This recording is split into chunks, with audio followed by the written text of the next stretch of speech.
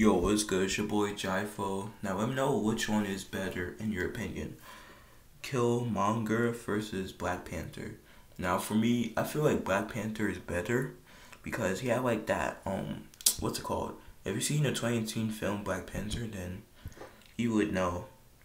So yeah, that's why I chose him. Have a great day, guys, and peace.